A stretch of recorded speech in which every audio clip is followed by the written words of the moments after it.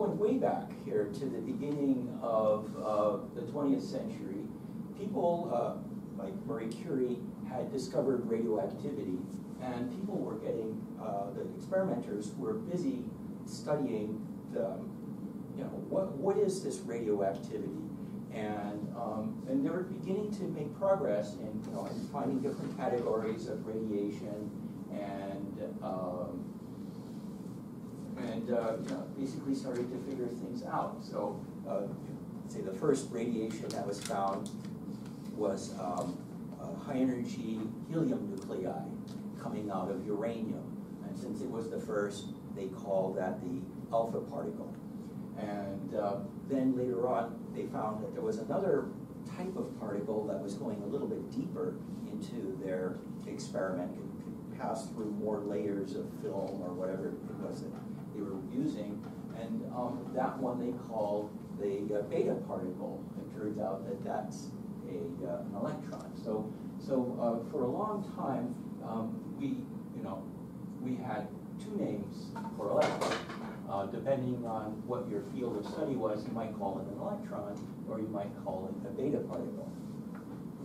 And uh, then uh, further on, we had another discovery, even more penetrating particles, and those were called gamma particles, and it turned out eventually that those were photons, very, very high energy photons. So um, the neutrino was quote unquote invented by uh, Wolfgang Pauli, who was studying the experimental results from looking at things like neutrons or in particular tritium uh, decaying into, uh, in the case of, of a neutron, it could decay into a proton and an electron. And in the case of, the, you know, that, that's just one possible decay. To go to the next slide. There. Okay, so, so we're gonna focus, um, I'm gonna focus this explanation on, um, on tritium, um, because it's still relatively simple. It's not as simple as just a bare neutron, but it's more realistic to do. In those days, uh, regular, you know, bare neutrons were not available for experimenters, but tritium was available. And so, okay, so first of all, what is tritium? So we have uh, this, uh, this would represent hydrogen. A hydrogen atom has a proton and a single electron, which could visualize as orbiting around it, or the way they pictured it here, it looks like a sort of smeared cloud of electric charge around the proton. It has a funny name here. I'd never even heard this before. Protium. Okay. So I learned something preparing this talk. Protium, okay. Um, and then we have uh, what's maybe commonly known as heavy hydrogen, um, deuterium, and it gets used in making heavy water, right? So regular water is H2O. Um, heavy water would be a deuterium, two deuterium uh, atoms, and then an oxygen. Sometimes it's written D2O. Um, okay, and then we have uh, a version of the hydrogen atom which has, uh, uh, which we call tritium. And uh, so, okay, so the, the tritium has uh, three nucleons, right? The tri makes sense. Uh, it's a proton and two neutrons. The deuterium had two nucleons and um, the, the, proton and the neutron. Now, the tritium uh, atom is radioactive, but it has a pretty long half-life, 12.3 years. So it's a convenient material to use. Um, it, will hang, you know, you make your tritium and you've got it, you know, for like a decade or so at least. So, okay, that's nice. And, uh, okay, so the, uh, so I, this is uh, what you might think a beta decay for tritium would look like. You have your two neutrons and a proton, that's your tritium, and uh, it turns, one of those neutrons turns into a proton. So it looks like it's the top one here. So it's top neutron, in, the picture anyway, has turned into a proton and uh, emitted a, uh, an electron. this picture um, was written by uh, Enrico Fermi. Uh, I have his, one of his old books, and uh, so so that's why this sort of has an old style to it, including the date and so on. All right, so um, so let's take a look at how much um, in a little more detail. So first of all, how much energy should you get when the tritium decays into this thing. Oh, I, I forgot to say, but um, this is helium, right? Um, uh, two protons means you are going to have two electrons. Uh, uh, any atom that has two protons and two electrons is going to be helium. The most common, uh, that's you. I see. That's good. I'm trying to annotate because they can't see the. Oh, they, yeah, right. Okay. Um, all right. Well, thank you for doing that. Okay. I, I don't think I'd be able to do a good job on the mouse and talk at the same time. Um, so, okay, so this is a, one of the isotopes of helium. The, the most common one, the one that we have all, you know, in our party balloons is helium-4. That would be two protons and two neutrons. But this is he- uh, helium-3. Okay, that, that's not an important thing. Um, and then you get your, uh, your, electron coming out. Uh, Notice that this equation, right, um, the charge is balanced. Right? So, so when we talk about the stuff in this worksheet or, or paper anyway, uh, I'm going to be focusing on balancing equations.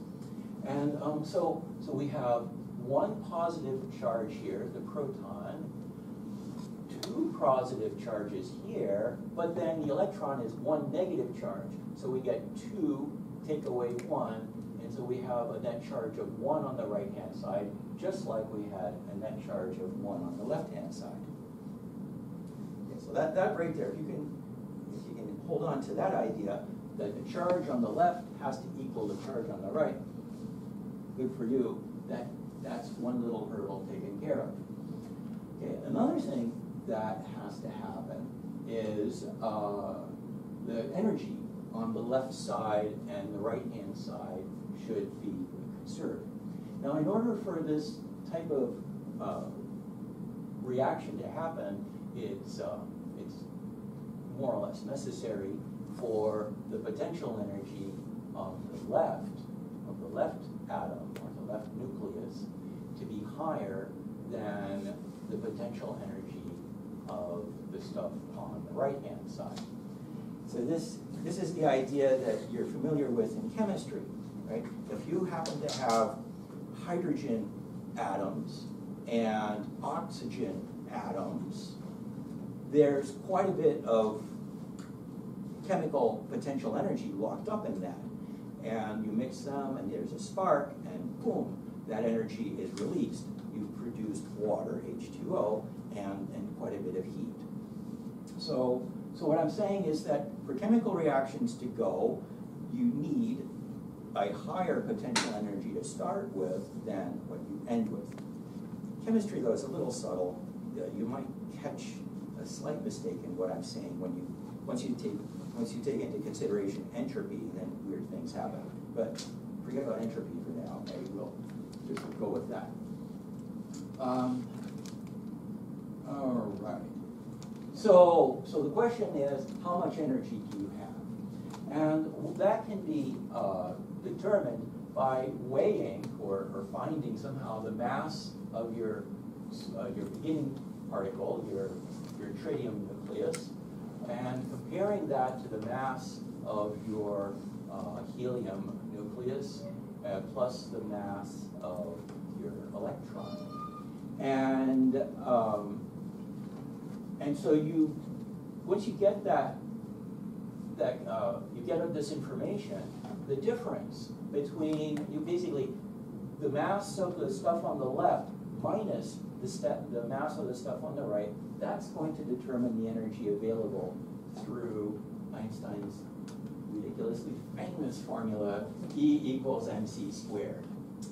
So, uh, so you take here, it- it's it's m, but really what we want is the change in m, the, the beginning mass minus the final masses, the final combined mass. And that multiplied by the speed of light squared tells you how much energy will come out. All right. Now, the thing is that uh, when they studied this, they knew the masses. They could predict how much energy these things would have. Um, this thing should come out with uh, essentially all of the energy, the mc squared of energy. This thing will, will take, steal away a little bit of energy, but it's very massive, and so it's only a little bit. Um, we'll get into that a little later, why it's only a little bit. The thing is that they knew how much energy the electron should have when it came out. It should be a definite amount. These masses are very stable numbers, right? You, you don't see tritium change mass. You don't see electrons change mass. No. And yet, what they got was a smear of energies. The, there was, it seemed like the, the, the beta particle, the electron, was getting a, kind of a semi-random amount of energy. And that drove the physics people crazy. All right. Okay. So, okay, I have here uh, an analogy um, for beta decay. How am I doing? So, um, this cannon here represents the tritium atom. And, uh, and the, uh, the cannonball inside um, is going to be the, the electron coming out. And the tritium atom has potential energy that you could think of that as being the energy of the gunpowder. The cannon fires, and the gun, you know, if it's an actual cannonball, it's going to come out with a pretty much uh, a, a, predictable amount of, of energy and, and, velocity and so on. If I were to uh, do a an experiment with an old cannon, an antique cannon, you might get data that looks like this. Uh, this is called a histogram in physics. It, it has different names, like a frequency distribution and so on. In physics, we call it a histogram. And the vertical axis is a, a count of how many experiments you've done, and the horizontal axis is the result you get, and it's in ranges. So, um, so yeah, so for example, you know, this is, of course, I'm waving my hands here.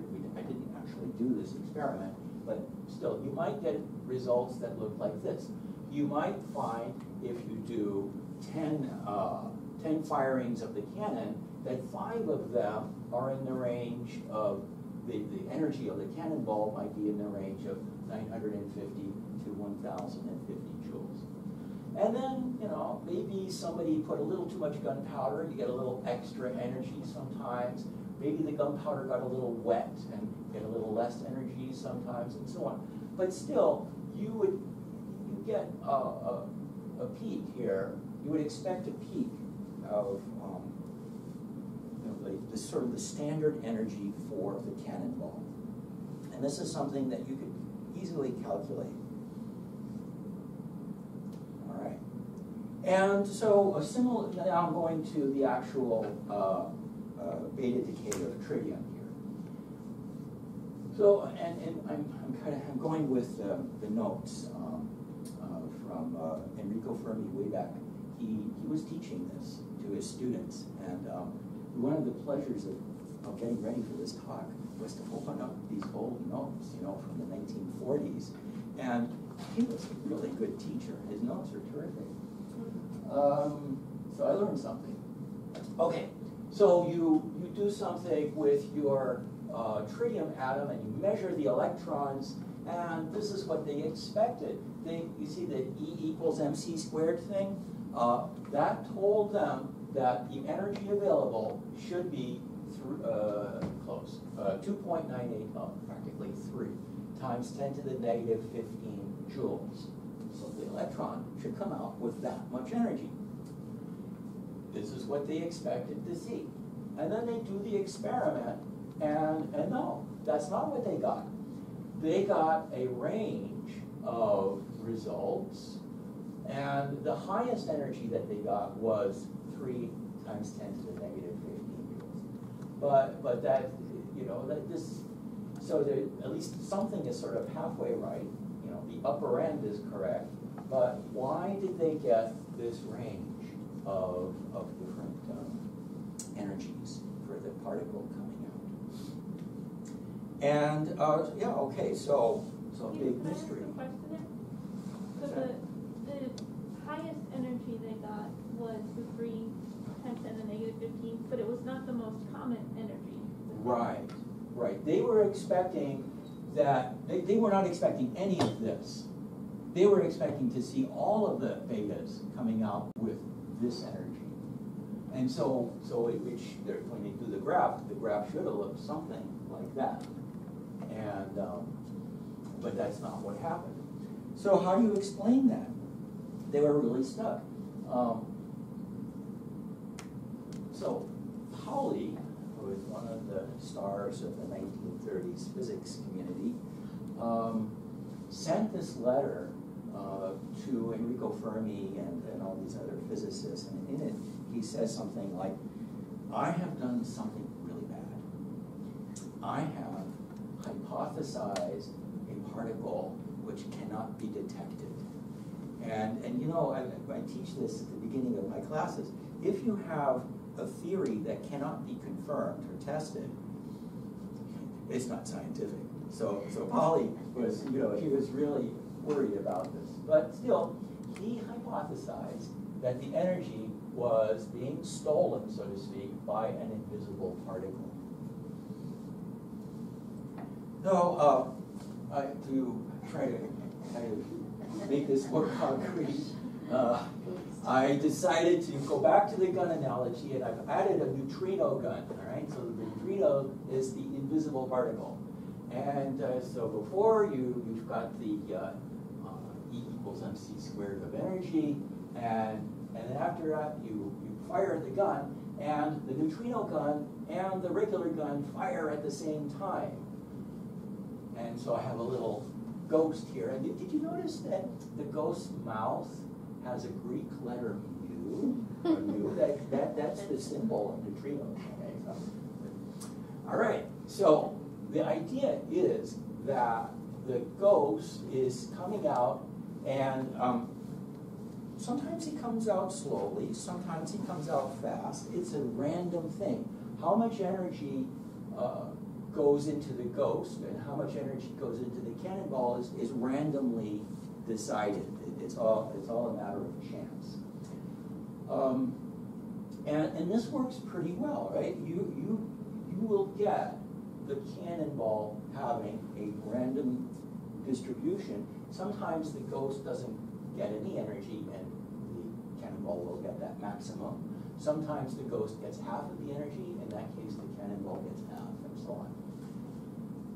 There's one little thing missing in this picture, and that is I have the neutrino gun pointing forward. And in real life, uh, the neutrino gun should be pointing in some random direction for every, every shot. So, um, but I, I couldn't figure out a good way to draw that. Okay. Yeah, yeah. So, um, so now, uh, we have this idea that Enrico Fermi takes seriously. And, um, uh, I just want to say as an aside that, uh, my teacher at the University of Arizona, when I was getting my PhD, his name was Ted Bowen. And he's, his teacher was Enrico Fermi.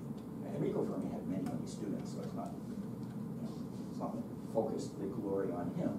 But, um, but still, um, I could see that Ted re- really admired Enrico and Enrico Fermi, and um, and uh, and some of that teaching skill must have rubbed off on him because Ted was a very good teacher as well.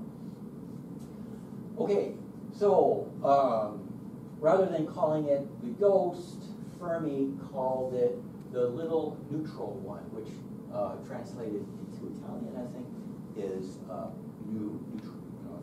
Is for neutral, and uh, or neutri something, and then ino means little one. Okay, so, uh, I took this again from, uh, the, this is the notes, this is what it looks like. Um, and, um, all right, so this is what he wrote. He has the tritium, uh, becoming, uh, helium-3, and plus an electron, plus this nu symbol, nu symbol, which means neutrino. And uh, the, uh, the, the maximum energy of the beta or the electron is the 0.019 MeV. So, uh, yeah, so I don't know if I said it already, but uh, electron volts are a kind of energy unit, right? We're used to uh, watt hours, or uh, physics class, we're used to joules. And uh, an electron volt is the energy that an electron gets if it falls uh, from one place to another. Like, let's say two plates with a one volt battery, and it falls that much, or it's pushed by the electric field, it'll get that much energy, one electron volt of energy. An MEV, mega electron volt, is the energy the electron would get if the battery was a million volts. The electron goes from here to here. And so with a million volts, of course, it'll go, right? It'll have a lot of energy. Um, if you want a conversion factor, one electron volt is 1.6 times 10 to the negative 19 joules. And in that number, 1.6 times 10 to the negative 19, you might recognize as the, uh, the charge of an electron in coulombs. Anyway, we, we don't want to spend too much time on conversions. We got more important things to take care of. Okay, so this, this is the new picture, including the neutrino. And uh, again, I got this straight out of the notes, out of the book by Enrico Fermi. This is what you get. You get a distribution of energies. Um, so, so each, you know, right, this maybe represents um, a thousand or a million experiments, each experiment being one beta decay. And where the line is high, that means it's the most probable. You get the most of the beta decays that have the electron having this much energy. Uh, if you say you go here, well, it's now half as often that it happens. If you go down to here, it's very rare that it happens. And then if you're beyond energy Emax there, it never happens.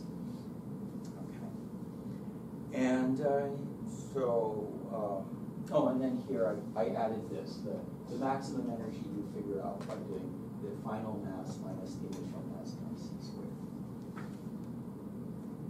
Yeah. And um, yeah, okay, so um, some more examples. I, this, um, this is a, an actual uh, spectrum for tritium. There's a huge experiment going on in Germany where they're measuring this, this spectrum to exquisite accuracy. And, and so this is the, uh, the spectrum that they're getting tritium decays. Uh, the units here are in kilo electron volts.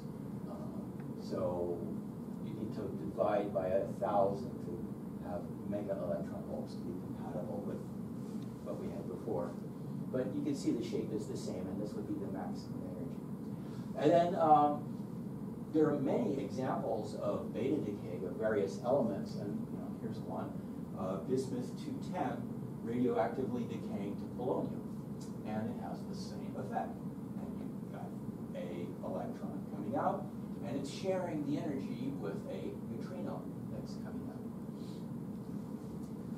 Right. Okay. Uh, yeah. So you might notice that I'm sneaking in slightly different notation here. Here's the neutrino, and I put a bar over it. Here is the neutrino, and I put a bar over it. So what's that? What's the bar for? So uh, it means anti. It's an anti-neutrino. Um, and so, so what we're saying is that bismuth, I'll go back, I'm sorry.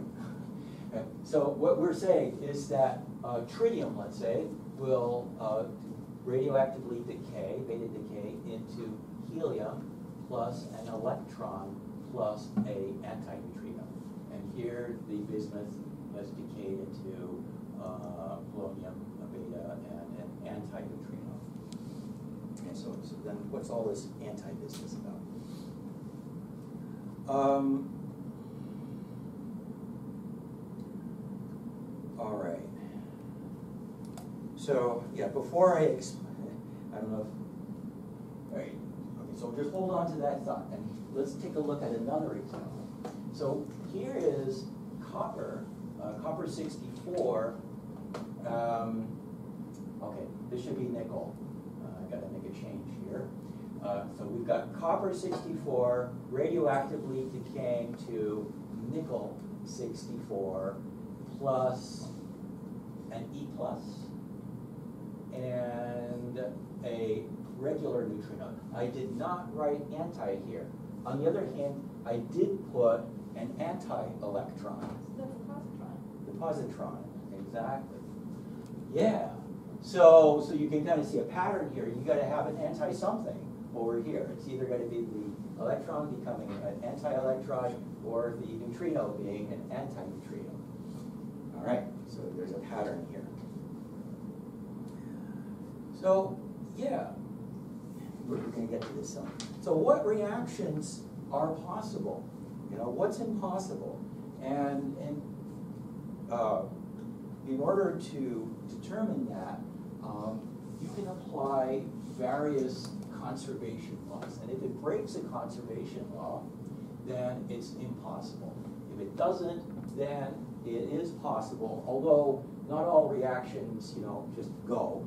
Uh, some of them can be, you know, very improbable or go very, very slowly. And, okay, so what do I mean by conservation law? I mean, some aspect of the experiment, of the materials, let's say the tritium atoms or the bismuth atoms, uh, that have to stay the same before and after the, the reaction, right?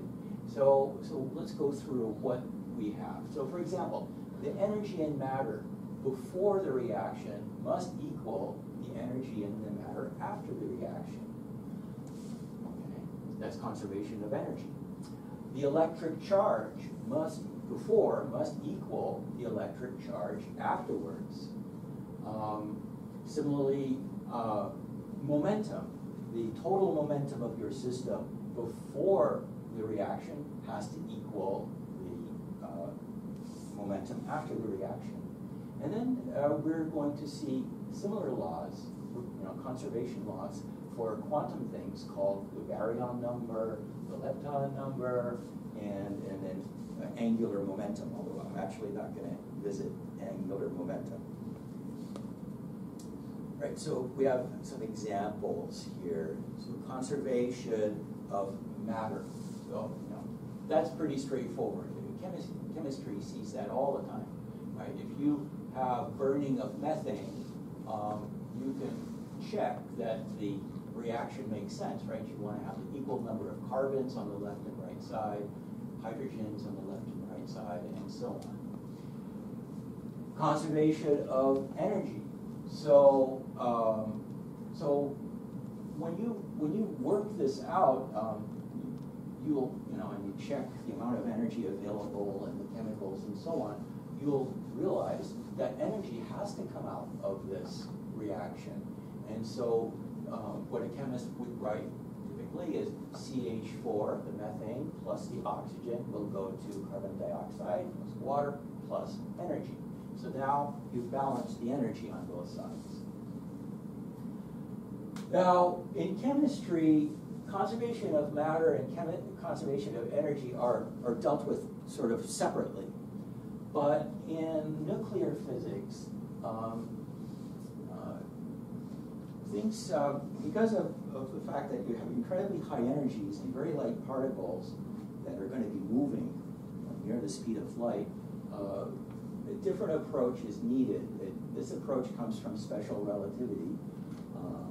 And, and, and so in nuclear physics, the conservation of the matter and energy is sort of bundled together. So we don't really say we have conservation of matter and then separately conservation of energy. Instead, it's both at the same time. Um, now, if you wanted to, you could take the approach of nuclear physics and relativity and so on, and um, it would be really, you know, a pain in the rear end, but you could say, oh, yes, the uh, mass of these things is slightly more, uh, the, the, the methane mass plus the oxygen mass is slightly more than the CO2 and water, and the, you know, using E equals mc squared, you could say, oh yeah, the, uh, that mass difference uh, matches up with the energy that you get out. So it's not impossible to do chemistry this way, but I, I, I wouldn't recommend it. Um, all right. So yet another, okay, let's look at conservation of momentum. Um, so momentum is mass times velocity. And um, so looking at uh, my cannon example, my system is the cannon at the beginning uh, with the cannonball inside. Nothing is moving. So the mass is you know pretty big, right? It's the cannon and the cannonball. But the velocities are all zero. So my system has zero momentum to begin with. Then the cannonball is fired out. The cannonball has a positive momentum. It's going to the right. If that's if we stopped there, we'd be in trouble because we're not we're violating conservation of momentum. We have to have the total momentum be zero. Right? That's what the law says. It started out at zero, it should still be zero. And in fact, it does end up working out because cannons always recoil to the left. And when you combine uh, when you combine the momentum to the left of the cannon with the momentum to the right of the cannonball, it adds up to zero. The, the momenta cancel out.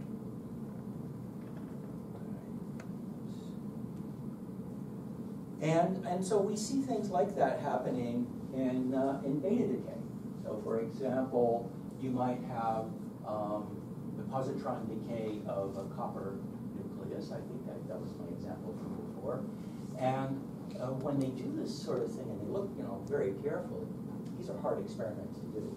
Um, they'll notice that um, the, the momenta are slightly imbalanced because the neutrino is stealing some of the momentum. And so, um, so here you have a total momentum of zero, and then here you have the nickel uh, product, the nickel nucleus, having momentum up and to the left. The positron is going up and to the right, so it has that momentum. And, and so, so wow, if you have just those two, you're, you're breaking the law. You have an overall momentum upward. That's no good. Well, the problem is resolved by including the neutrino. So the neutrino is, has momentum down and to the left, and, and the problem is solved. Yeah. So, we're, we're doing a lot of physics here today. I mean, I'm just, as I'm going along, I'm realizing I'm hitting you with a lot. Um, so, if you're holding on, I'm happy. Good. Okay, uh, duh, duh, duh, what do I have here? I, I, I ran through the numbers and, okay. So conservation of yeah. so, okay, I think I'm gonna move on here. Okay, so now let's look at conservation of electric charge. We, we kind of already touched on this. Um, I already told you that the electron is this tiny amount of electric charge. Now this number, one point six oh two times ten to the negative eleven is a bother to use. So rather, we just say one electron charge. And just use the number one for the electron. But, but the, the electron is negative, right? So we say that the charge of the electron, or charge number of the electron is negative one. Positrons, right, the anti-electrons are positive, we say they have a charge number of positive one. Neutrons and neutrinos have a charge of zero.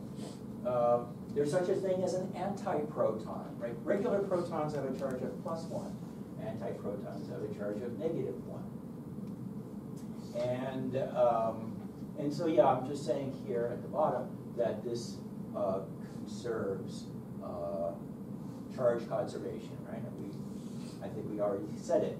Here you have a charge of one on the left, here you have a charge of one and two for the two protons, minus one for the electron, and so one on the right. So charge is conserved. Before and after, the overall charge is one. Yeah. And yeah, then it's blocked by my screen here, but the antineutrino has a charge of zero. Oh, and, I- okay, something interesting.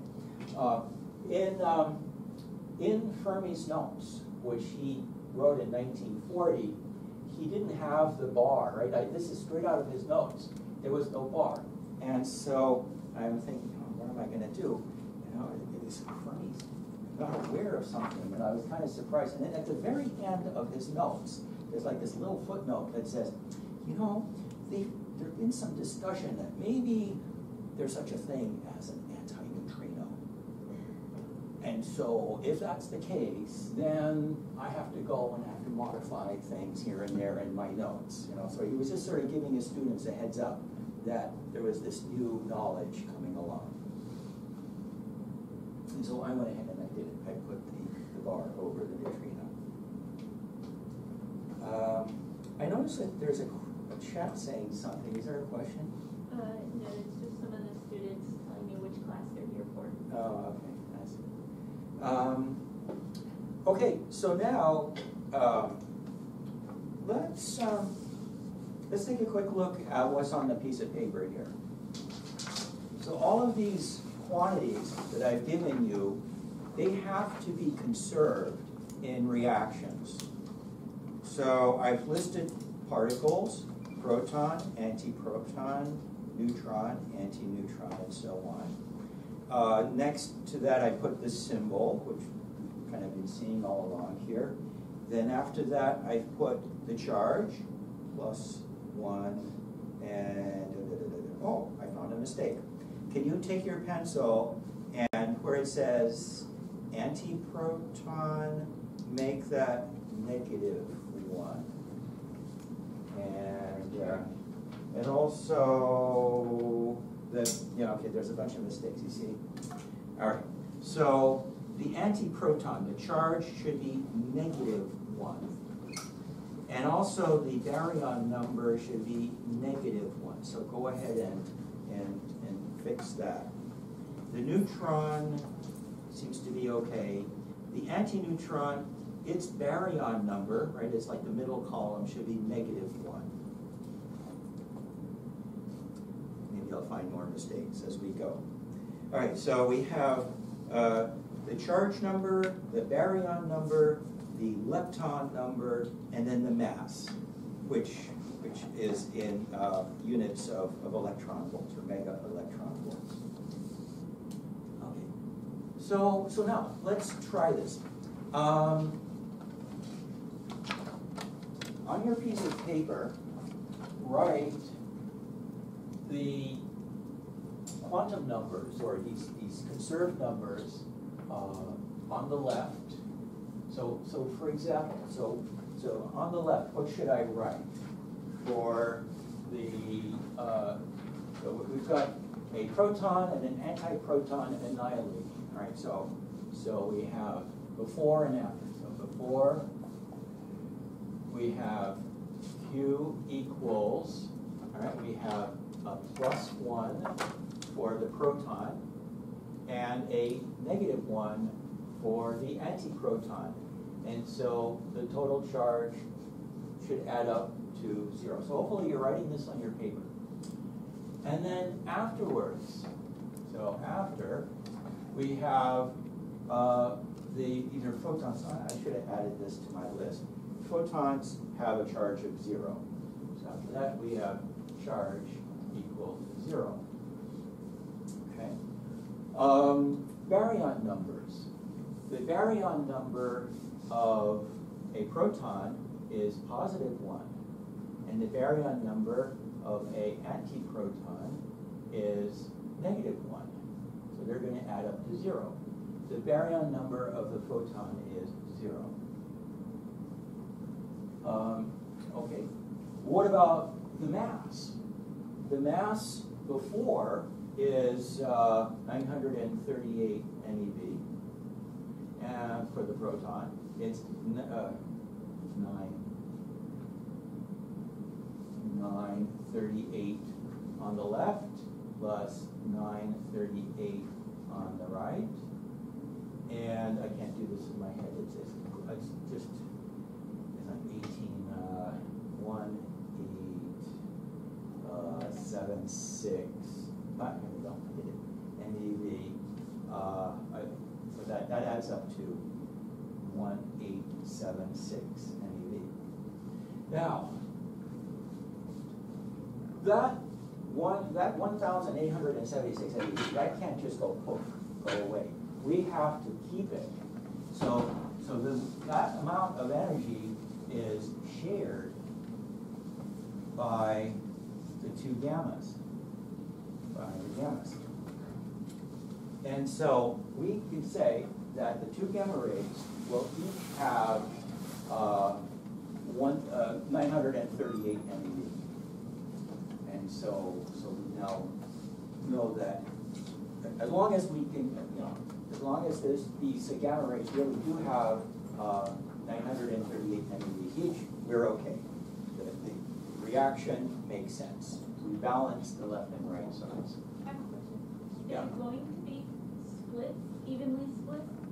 Does, does it, does it have to be evenly split between the two gamma rays? It is. It, it is evenly split, and um, it is it's beautiful to behold. Um, you'll see, in, in, in real life, you'll see two tracks going exactly opposite directions. And, um, and it, it's very cool when that happens. Um, okay, so we have the conservation rules continuing here. Um, baryon number, let's see, um, yeah, I'm gonna try to speed things up a little bit. Um, Let's take a look at this one here. The baryon number for the uh, tritium that we start with is three the baryon number for the helium-3, right, there's three nucleons, It's also 3. Right? So, um, so protons and neutrons have baryon numbers of 3. So it doesn't matter that, you know, that it changed from a, pro, uh, a neutron to a proton. It's still a baryon number of 3. Um, the lepton number um, of these things is 0. So this has a lepton number of zero. This one has a lepton number of zero as well. What is the lepton number of the electron? Look at the chart and somebody tell me, what's the lepton number of the electron? Plus one, great. What's the lepton number of the antineutrino? Negative one. Whoa! Plus one and negative one add up to zero. So we have zero lepton number on the left, zero lepton number on the right. Our equation is okay. All right. Um, Let's see.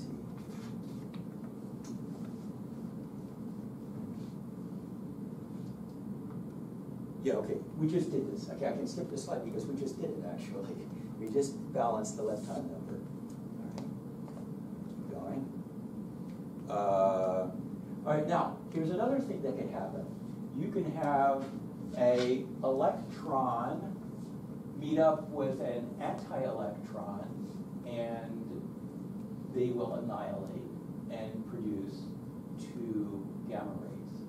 And, um, and the, the thinking is the same.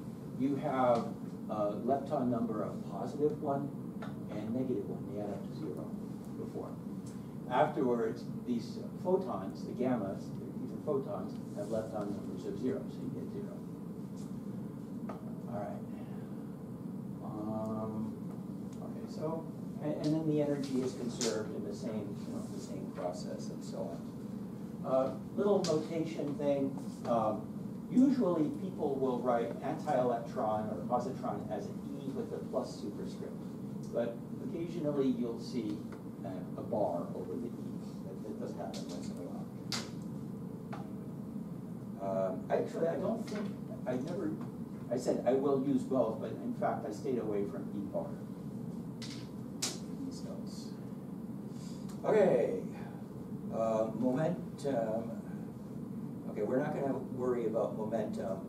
Um, we're also not gonna worry, at least in these notes, we're not gonna worry about uh, angular momentum.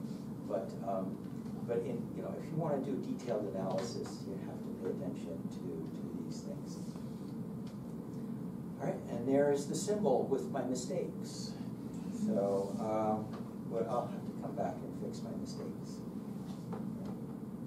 All right, so uh, now, um, we already talked about the masses, so I'm gonna move on beyond that. And, all right, so, so here we have this hypothesis that Pauli proposed, that Fermi um, is taking seriously.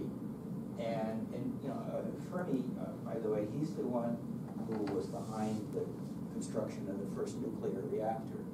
So, you know, he is a big shot, and um, he's also a, a terrific um, experimentalist and a, a pretty decent theorist. So if he takes it seriously, people pay attention. Um, he, he started to work on how hard would it be to actually detect neutrinos. And in his notes, he makes uh, this calculation, kind of a rough calculation, and he says, every billion, every second, um, this huge number, uh, actually, the, the business of going through your nose every second, that, that's my math, okay? So, but I use the data from Fermi. Uh, a hundred billion neutrinos are passing through us, through, you know, through that much space every second coming from the sun. And, and, you know, nothing happens. So clearly, neutrinos will go through things and not interact. Um, and, uh, okay, what Fermi actually said was that a neutrino can cross the entire sun and, and not interact. Uh, the way he put it was, it could go through with little probability of being absorbed. So these are particles that just go through things without interacting, and that makes them very, very hard to detect. So I'm going to go through the business of just actually detecting neutrinos, and then time is running out, so yeah, and then I'll have to stop there. Okay, so let's talk about how you would actually do this experiment, detect. So first of all, you need a source of neutrinos that you can control. And uh, yeah, a nuclear weapon is pretty good. A lot of neutrinos coming out from that. The only thing is that it's a little scary. Um, and now there were some serious proposals to build a laboratory underground and then build, you know, blow up nuclear weapons above. And the, uh, the way the thing would work is you would have your, your little, like a mini laboratory in this big pipe.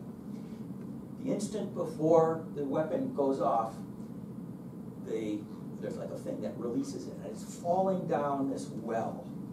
And the weapon goes off. All hell breaks loose, you know, there's like an earthquake, and your experiment lands on a bed of feathers or foam or whatever at the bottom, and then you get your data out. Not the most practical scheme, uh, in my opinion. Um, okay, a much more uh, straightforward thing is to use neutrinos from a nuclear reactor. I, this is a picture of a nuclear reactor being refueled. And, um, and so, so that's what they did. Uh, nuclear reactors are pretty good because you can switch them on and off. So you build an experiment, see if you get neutrinos. Oh, I see a neutrino. And then you turn off the nuclear reactor, and hopefully you don't see neutrinos then. And then you turn the reactor back on, oh, we do see neutrinos. So if you see that, right, you, you can pretty much declare victory. Um, okay, so what's, why do neutrinos come out of nuclear reactors? Well, you get a lot of neutrons being made, and the neutrons decay into a proton, an electron, and an antineutrino. Uh, and uh, let's see, and, okay, this is wrong. This is not called in, inverse beta decay is going to happen later on. Okay, you can can you scratch that out? Inverse beta decay part is is wrong. Um, okay, but we're going to get we're going to get a lot of antineutrinos coming out of a nuclear reactor. Can I ask another question? Yeah. Does nature just determine whether it's the antineutrino or the neutrino that comes out? It just knows based on the other particles that it's being formed with, it knows which one to be? I don't, I don't know that, uh, the answer to that. All I can say is that it's like, it's like conservation of charge. If you have a reaction that makes something positive, then somewhere you've got to have something negative come out. And it's, so same idea. If you have a reaction that makes something with a lepton number of plus one, somewhere in your system, you've got to come out with a lepton number of negative one to balance it out. The same idea. Yeah. Nature is doing it. In Nature is doing it somehow, yep. Um, Yeah, and, oh, by the way, we can check, are the charge and the baryon number and the lepton numbers uh, conserved in here? The baryon number of the neutron is, according to your piece of paper, is what? Zero. Neutron? Oh, one. One, the, the- the charge is zero, yeah? The baryon number is one. The proton's baryon number is also One. one, yeah. Uh, now, getting to the charge. The neutron is zero, the proton is plus one, and the electron is negative one. Okay, so they're going to cancel out, so the charge is balanced. And um, the lepton numbers, the neutron has a lepton number of zero, the proton is also zero, so so far we're okay.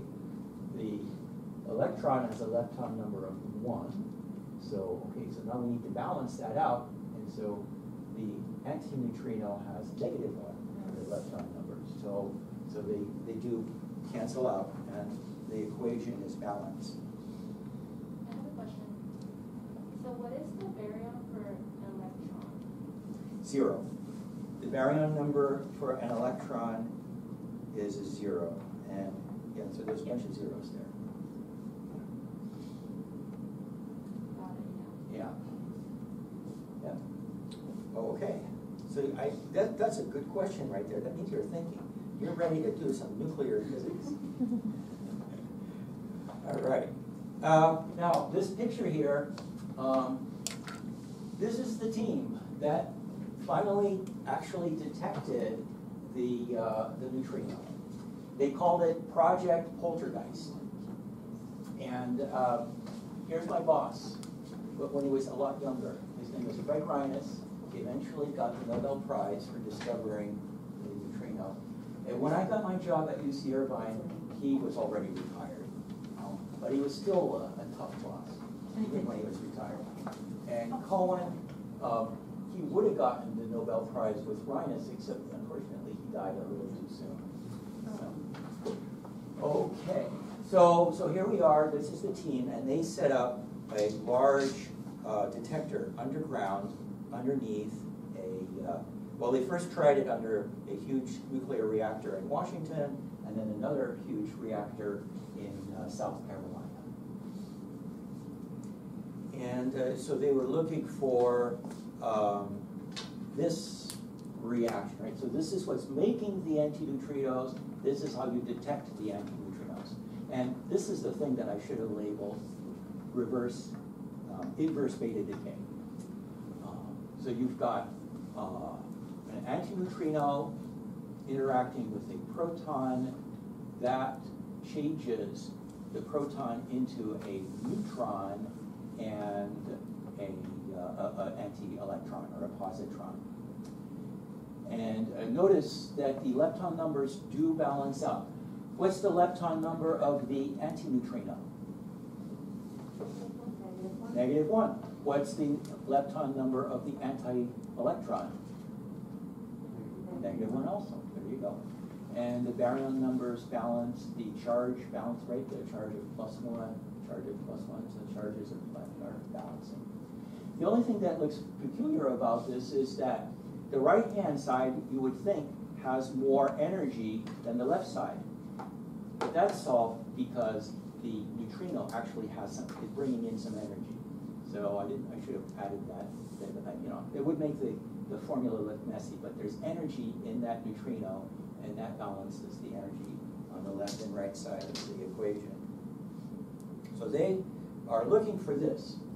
Now you, they don't actually see this directly, but what they do see is the positron meeting up with an electron, and immediately you get two gamma rays, and the two gamma rays uh, have exactly the same energy, getting to your point.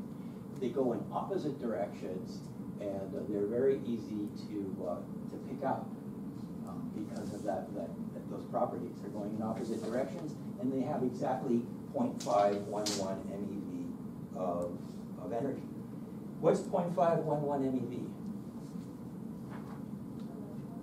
The, that's the mass of the electron. So the gamma rays get that mass. That's in the form of energy. Yeah. This is, uh, these are drawings by Reines and Cowan. Um, you, you know, this is sort of the overview. Um, you've got the neutrino comes in, it, uh, it interacts and makes uh, the positron. The positron sends two gamma rays. These are photosensing areas, so they pick up the, the, the light uh, from the gamma. Well, they, the, the gamma rays make a flash of light, and then the, the flash of light gets picked up, um, and, and the two, the two, you know, above and below. So that's pretty, pretty, uh, pretty unique. And then um, something else happens. If I, let's see, do I have? Yeah. Something else happens. You see, besides the positron that came up, you get a neutron that also comes out. And that neutron does something here, right? It meets up with some a cadmium uh, nucleus, and the cadmium nucleus gloms on to the neutron, and that's um, that uh, excites that process excites the uh, cadmium nucleus to a higher energy state, and you get uh, when it then it de-excites and it uh, sends out a bunch of gamma rays, which you can then see. And so this experiment, even though you had noise from cosmic rays coming down, that's yet another subject. This is a very difficult experiment because you have lots of sources of interference, mainly cosmic rays. Even though you had all this interference, the fact that you were looking for two back-to-back gamma rays followed a few microseconds later by the gamma rays from the cadmium capturing the neutron, that combination made it a- a, uh, kind of a a foolproof signal. If you saw that, you had it. You had your neutrino. And, uh, yeah, so that, that's what I'm, I'm saying right here. That's the cadmium capturing the, the neutron. And, um, and so there you go. They got it. They would get a few neutrino captures per day. They'd run this experiment for weeks and weeks. And after a while, they came out and they said, we did it. We got our neutrinos. And so that was it. They, they, uh, it was a big deal. Uh, Fermi was excited, Pauli was excited, all, all these people were patting themselves on the back. Yay, we got it right. So, um, so that's kind of the story of the discovery of neutrinos. I apologize, I, you know, I have all this other stuff, but, you know, it- I can come back again. we can do another lecture, we can talk about neutrinos from the sun and so on. Yeah, so, okay, that'll be next time. All right, well, thank you.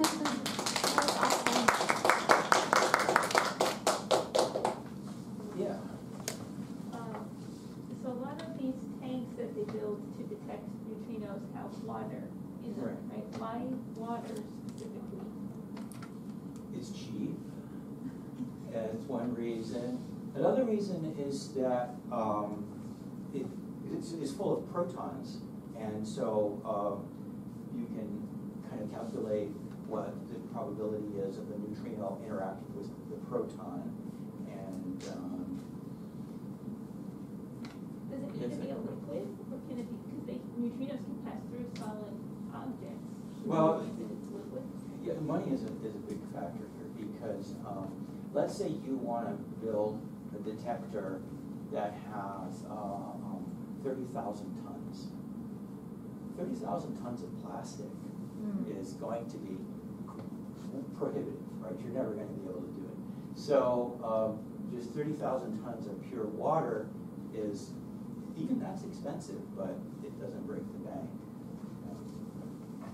Is Uh, Water is a pretty good target. The protons are, are a decent neutrino target.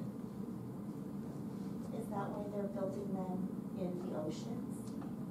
Um, yeah, oh, so once again, it's, that's a cost thing, right? The ocean is free, more or less. And, um, you, so these detectors have to be located away from the cosmic rays that are raining down on us from space. See, the problem with cosmic rays is that they are so high energy, that the protons have so much energy, that when they slam into the upper atmosphere, they make all of these secondary particles, including pions. The pions, which we haven't talked about, decay into muons and neutrinos. Or, at the same time, some pions may decay into electrons and neutrinos. And so now you've got, coming down on top of us, we've got the, the muons, which mess up the experiment right away, and um, so that's a good reason for putting your experiment underground. Um, But also you have these neutrinos that are coming down, and those are impossible to get rid of, right? Those neutrinos, you're just gonna have to live with. Yeah. Um, now, getting to the ocean thing, at least being way, way, way down at the bottom of the ocean, you're gonna be getting away from the muons that are raining down. That's, that's hard to do because muons are very penetrating. They, they can go down, you know, hundreds of meters. And so you need to be thousands of meters down to really get away from the muons. Yeah. Um, so I know that obviously recently we've been able to, um, photograph black holes, even though we weren't in the past. Do you think, um, in the future we'll ever be able to photograph neutrinos? Oh, oh man, what a question. I have a picture to show you. Uh, There. Oh. That's a picture of the sun, not taken with light. It was taken with neutrinos. It's a little blurry, but, but that's it, yeah. So that's maybe not exactly what you were a- asking about, but, but it- when you asked that question, this is what, I know. what was your question again?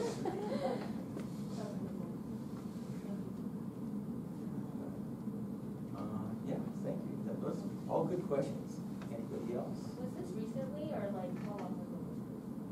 Um, well, I saw like the very first version of this picture about forty years ago when I was a student. It was more blurry.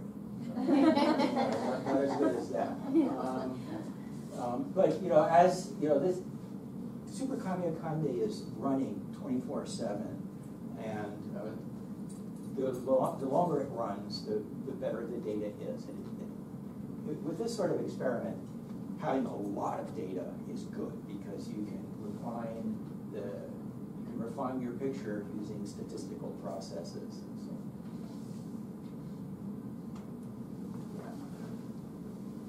Yeah. Um, Oh, okay, yeah, I think she was referring to what one neutrino would look like, like, you know what I mean? Like, What one would look like. just one. I, uh, I don't, I, I can't picture a way to do that, right? That we, we only see, or quote unquote, see neutrinos once they've touched something. And uh, so when they're in flight, then, uh, then, yeah, they, I, I don't, I can't picture a- an experiment to do that. You had a question? So how we use water to help detect neutrinos, can we use them for taking ice, ice sheet to help detect the neutrinos or not? So there is a, uh, there is a big experiment uh, underway at the South Pole where they're using the ice sheet over the South Pole as the target for neutrinos. And, um, I'm trying to remember the name of the experiment. Oh, it's called Ice Cube. And, yeah, Talk about that next time. Well, thank you very much, Dr. Halverson, I re- really appreciate you coming to talk to us tonight. Well, Thank you for inviting me. I, I really enjoyed giving this talk, and I really enjoyed uh, preparing for this talk. I- It was an education for me, so, okay. Thank you. Part two soon. How many more slides do you have already prepared? You don't want to know. Hundreds it, please come see me so I can get your